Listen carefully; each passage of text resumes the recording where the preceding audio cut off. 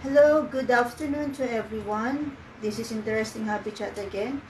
And I want to show you this thing, okay? So, actually when I bought this, I bought this for my bicycle. But um, I haven't used this since, ever since. Because when I have a problem with my bicycle, I just bring my bicycle to the repair shop. Yeah, this one. I, I don't know how to use them.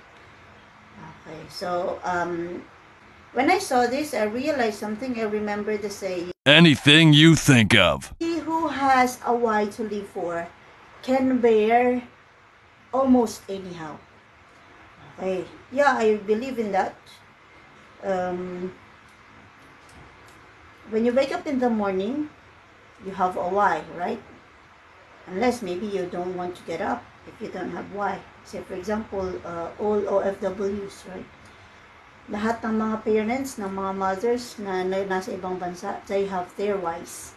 Bakit tayo nasa ibang bansa? Bakit ako dito? Bakit ako, um, even though I don't have so much uh, classes today for almost a year now, I only have part-time classes, but why I am still here? Because um, I don't know, I don't know what will be my children's future in the Philippines, so that's why I am here. And so let's go back to what I was saying. So as I said, I bought this tool without knowing how to use it.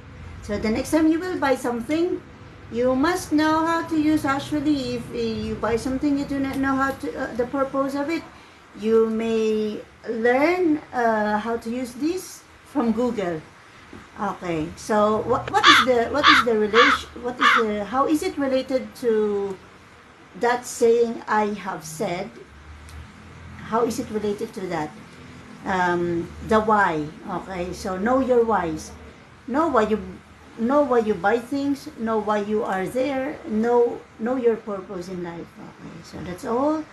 Uh, that's all I want to share. and if it's your first time on my channel in my channel if you like this video please like. You may comment down below and hit the bell button subscribe and hit the bell button so when I um, upload new videos you'll get notified.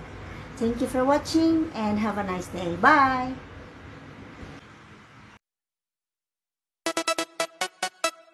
Don't stop.